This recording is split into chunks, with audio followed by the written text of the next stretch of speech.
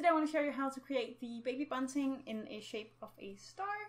I've shown you this before, but it was a very long video, but it didn't have a lot of detail, and I think the explanations were perhaps not the best. Uh, so therefore, I want to do this again, and I want to show you in much greater detail how to create the baby star. In this video, I'm only going to show you how to do the pentagon at the middle of the star, and then in subsequent videos, we're going to talk about the points and the hat. Let's do this.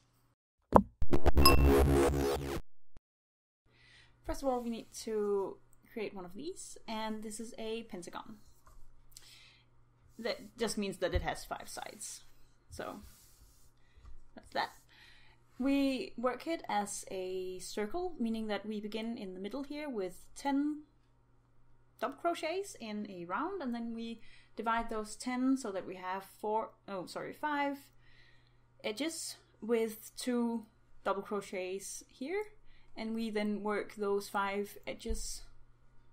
I have a repeat for every edge, um, and that's gonna make sense when we start doing it.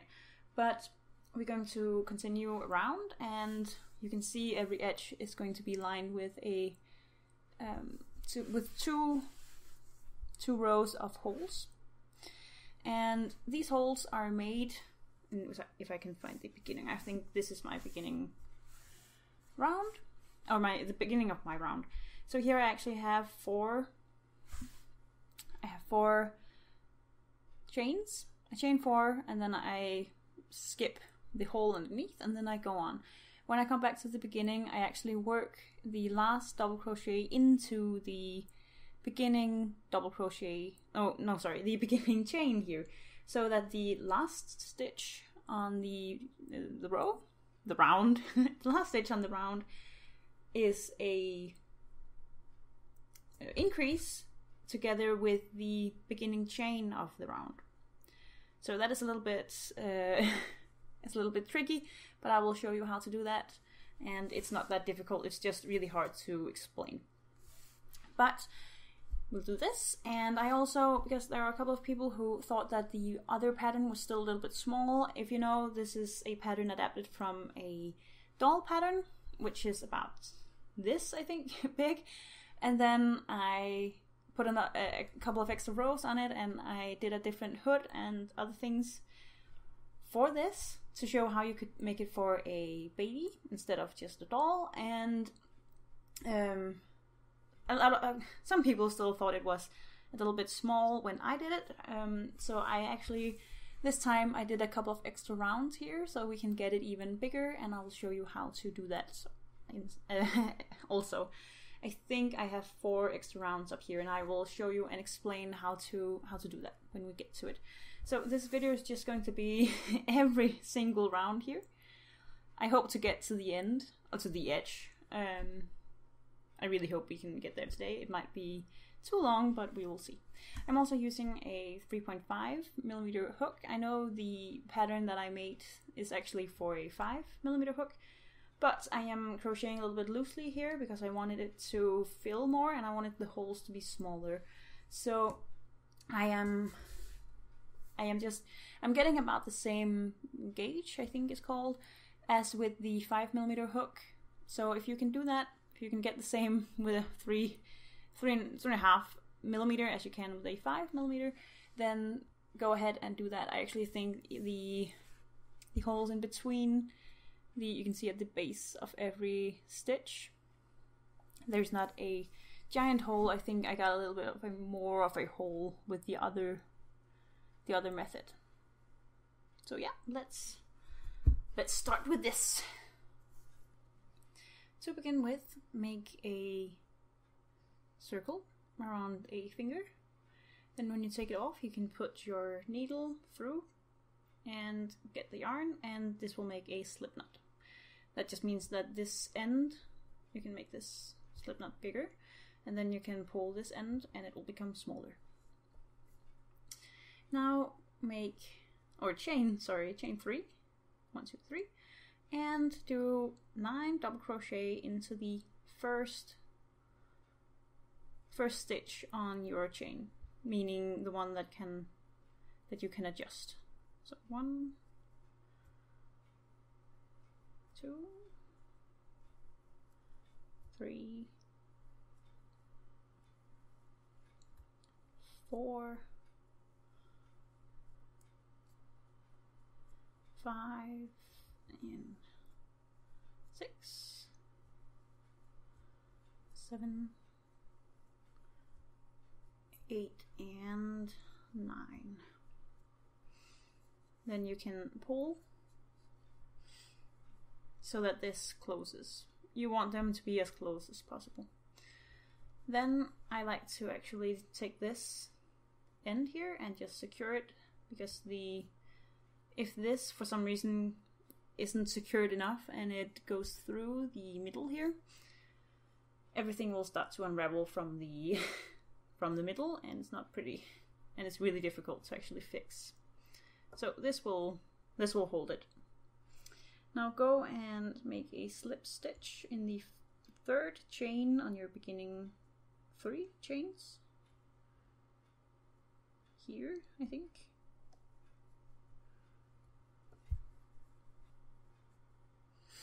In the next round, begin with a chain four. So one, two, three, and four. Now in the next stitch, two double crochet, meaning that you're going to increase in the next stitch, which right now I can't see. Here we are.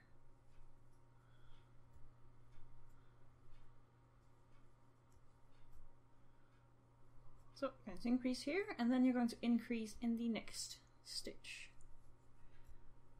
And then you're going to chain one. And you're going to repeat that all the way around. So I'm going to increase in the next two stitches here. That was one. And an increase in the next one. That was two. And then chain one. Increase in the next. And an increase in the next one too.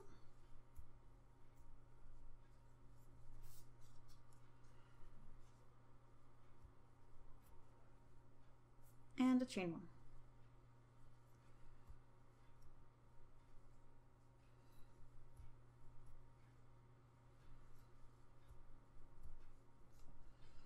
increase and another increase and a chain one. Now when we get to the end we're in this strange situation where we only actually have one stitch left. Let me show you that.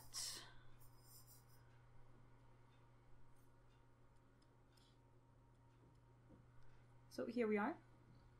I actually have just have one left, so I can't increase in the next two unless I increase in the first one here. So that was two double crochet in the same one. And then I utilize this stitch that is at the base of my beginning chain. So just go in here, make another double crochet. So now my starting chain here, my starting chain, and my last double crochet are actually in the same stitch so together they form an increase then I just finish this with a chain stitch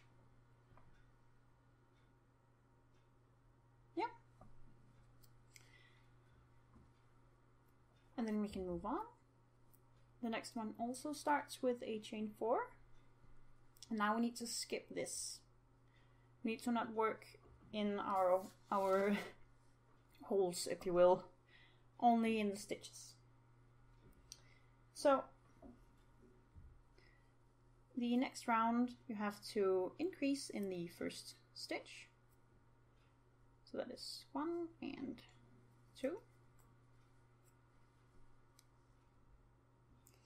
Then do one double crochet in the next two stitches and then you increase in the last stitch on this side. Oh. Here we go. And then you chain one. So every side is going to look like this. You're going to increase. There are four stitches. The first one you increase in, like this. It's just two double crochet in the same stitch. And then you do one double crochet in the next two stitches meaning just crochet as normal in the next two stitches. And in the last stitch, you increase again, so you do two double crochet in the very last stitch. Here. And then you chain one, and just skip the next hole.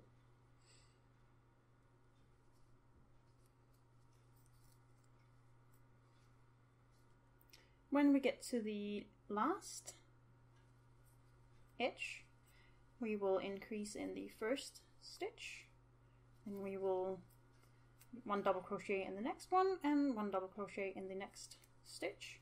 Now we've run out of real stitches to work in, so what we're going to do is we're going to do a double crochet into the start of the very first stitch we did so that the last stitch and the first stitch are going to create this increase. So we're going to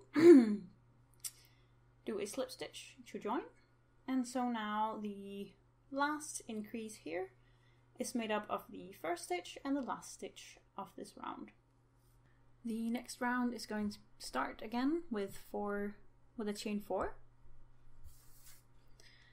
Then we're going to skip the hole here and we're going to increase in the very first stitch.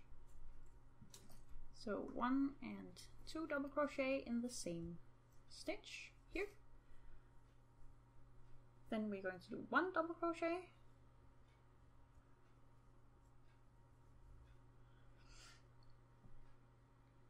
Now increase in the next two stitches. So two double crochet in the next one and two double crochet in the next one after that.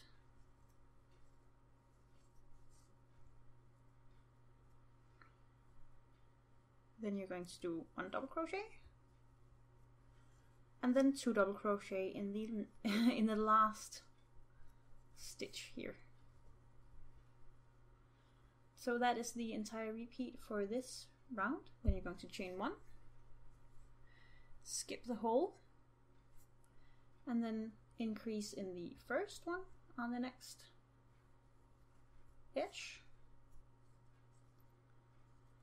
Do one double crochet, increase in the next two stitches. So two double crochet in this one and two double crochet in the next one.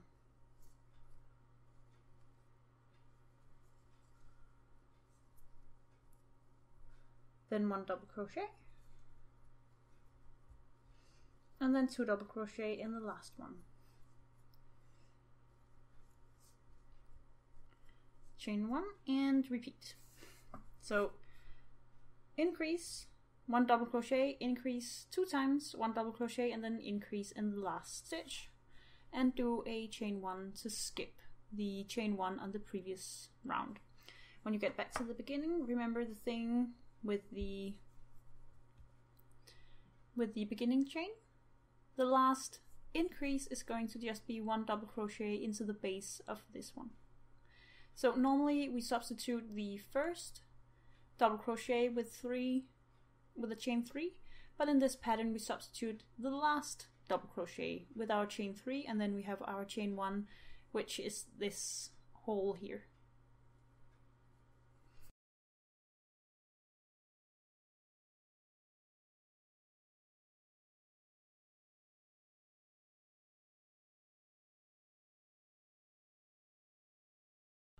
The next round is also started with a chain 4, meaning that we have now finished the round and we have skipped the first the first chain 1 space here.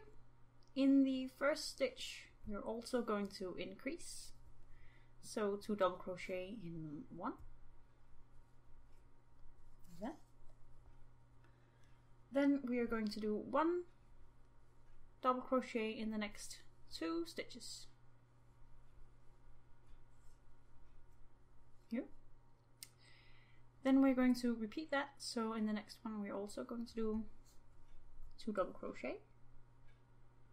Oops, I didn't get through all of the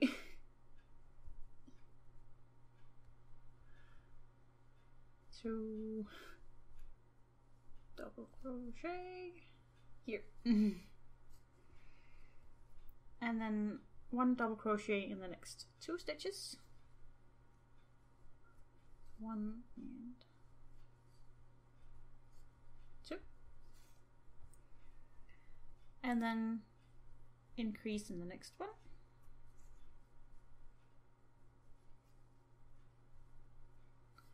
And one double crochet in the next two stitches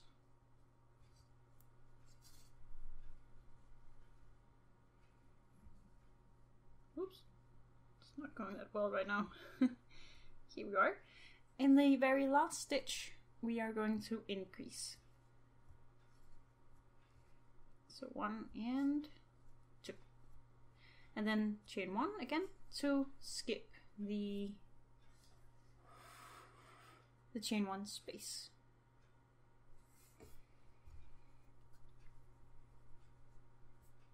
I'm just going to show you one more time.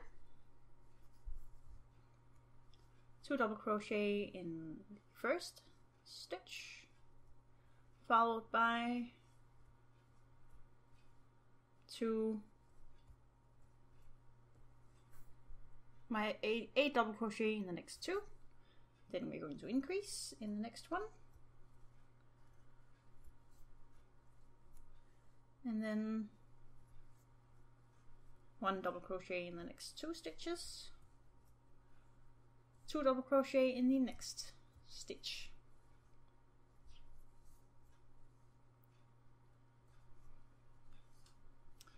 One double crochet in the next two stitches.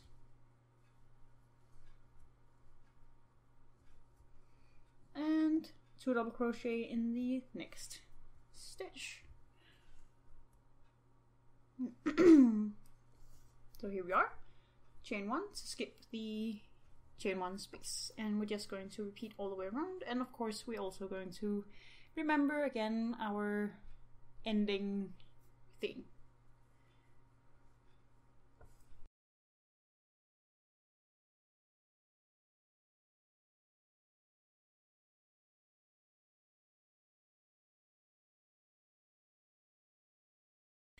So now we're going to start with the easy rounds and all of these rounds are the same but they have a different stitch count. So start with four.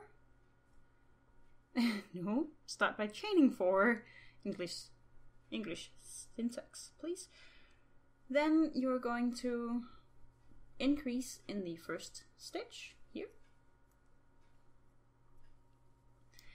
and then you're going to do one double crochet in each stitch till the end. And in the end you're going to increase again chain one. And then we're going to do the same thing on all of the other edges. On this first round you should have an increase then 12 stitches and then an increase at the end. So count these. If you have 14 you're golden. And if not well, you could sneak some extra stitches in here, it wouldn't be a problem. These uh, rounds where we have an increase, then something, and then an increase, are the ones that are going to get give us the edge that we want. We kind of want five edges rather than this round thing that we have now. So you can adjust your stitch count now, but don't do it later because you, you really need that straight edge here for the pentagon to work properly. So you can either, of course, frog and uh, meaning just rip out the stitches and do it again if you have the wrong stitch count, or you can adjust it at this point, given that you it's only like a matter of one or two stitches on the whole uh, thing.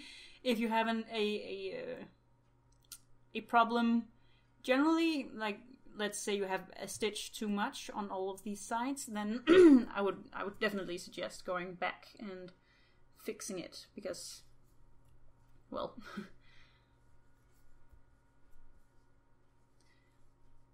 it will sort of buckle and be weird if you have too many uh, discrepancies or whatever you will call them.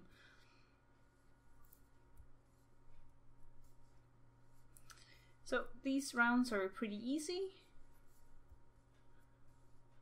Because they are just the same thing the next round, you'll see here that, that we now increase by 2 here. So now I should have not 14 but 16 stitches on my side, not counting this one because this one belongs to the last edge, not to the beginning edge here. So I should have 14 stitches here now. No, I should have 14 stitches here and then 16 on the new thing. Then next time I'm going to increase. I'm going to show you obviously, but it should be uh, 18 and then 20 and so on. So you increase by 2 every time you do this. And therefore you have an increase and then 12, an increase and then 14, an increase and then 16 and so on. At the edge here, at the end of the edge here, you should chain 1, skip this. Again, we're really working as hard as we can to get some sort of edge on this. And then you're just going to repeat it. So two double crochet in the first one here, 12 stitches to get to the other side, and then increase in the last stitch. Yeah. So you can see this already got a lot straighter than these round edges that we have here.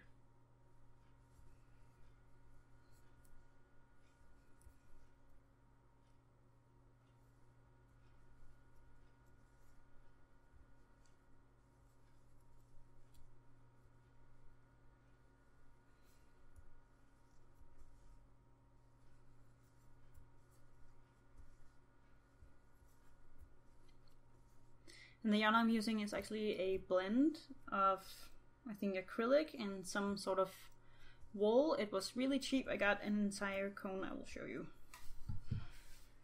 I got an entire cone. I've already worked one of these uh, pentagons, so it's it had it was a little bit, a little bit bigger to begin with. But I got this entire thing for um, uh, I'm not I'm not struggling with the price. I'm struggling with the conversion to dollars. um, so I think, yeah, what would that be? Five, maybe. It cost forty Danish krones, krone, krone, krone, and and I think the dollar is in dollars worth seven krona right now. That's really difficult to do in your head. I'll just put it up on the screen. But it was really cheap because it gave me free shipping on some other things that I, I wanted to pay for. So I just took this as in uh, the better option than paying for shipping. So isn't that a lovely corner? Now it really looks like a something that could get uh, corners rather than just be a round. But sorry, the, the point of this was that I don't only use acrylic, uh, really, and this is going to be for my own baby. I am pregnant. I am um, three months. Um, or maybe, maybe I don't know. You'll see. I, I, I don't even know if he's going to be able to fit into this, but um, I would normally use acrylic, but this was so cheap, and the other fiber in it is super duper soft, and um, I'm just, um, yeah. I hadn't really expected anything because, as I said, it was really cheap, and there's a lot of it. so, but when I when I got it, it was so nice to touch. It's really it's really nice that I just decided that it would be for this project, and uh, I'm just I'm hoping it it works out, and we'll see with the heat issues when when we get there.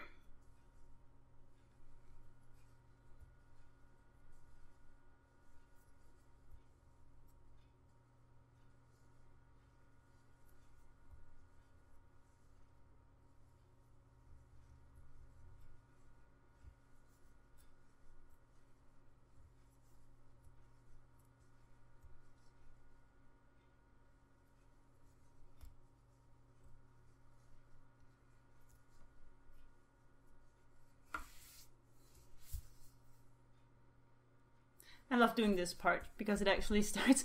You're so worried um, when you're when you're doing the initial thing. It's so round, and then when you get to the end, it's like, oh, it's it's actually turning into a five pointed something.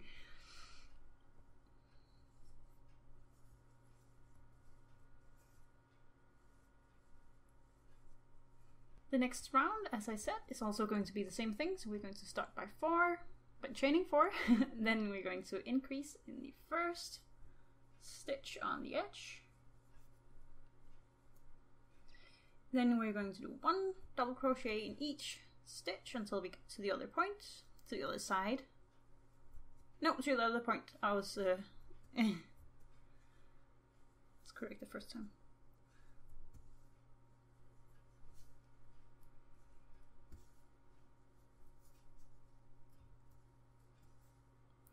So there should be 14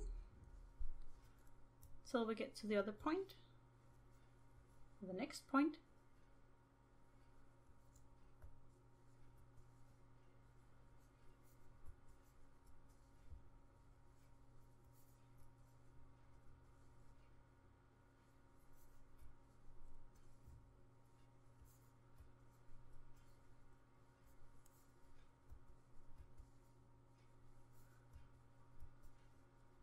When we're here, we're going to increase in the last stitch too. Then you're going to chain one and continue.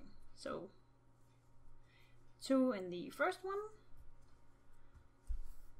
one stitch in each all the way across, and then two stitches in the last stitch. Chain one, skip the the chain one space, and then continue. And of course, when we get back to the start, Again, we are going to finish by using the very first stitch here as the last double crochet.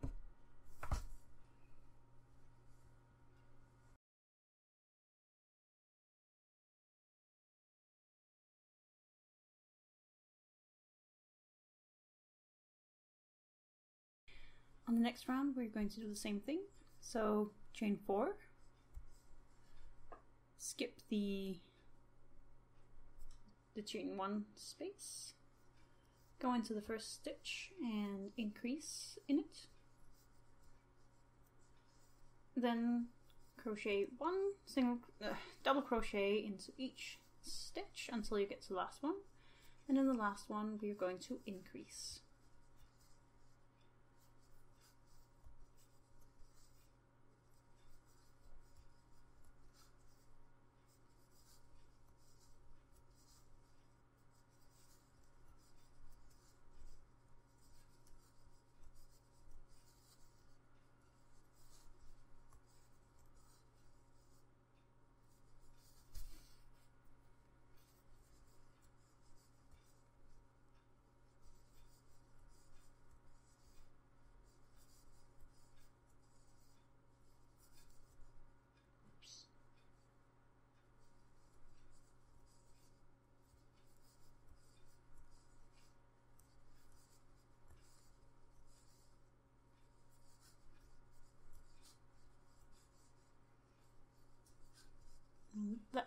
Two double crochet in the last one now I am chaining one and then I will continue on doing the exact same thing to all of the other sides